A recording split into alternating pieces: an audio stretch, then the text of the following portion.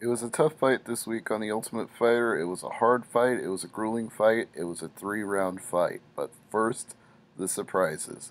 Conor McGregor showed up to give Aisling Daly some home love, some support, make her feel like the whole of Ireland had her back.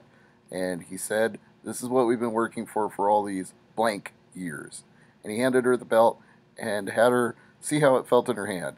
Not before he didn't try it over his own left shoulder and Jessica was friends with Justine Kish. That was the big story on this week. How Penne admits she's a loner and she doesn't like to hang around other people. She needs her space, but then admitted Kish was a good friend to her and made her a better fighter. And they spent a lot of time goofing off at the Red Rock Harley Davidson, where, as usual for each season of The Ultimate Fighter, they all got to try out a motorcycle. Now for the fight itself. First round, pretty close give it to Penne. Daly was doing better in the second round.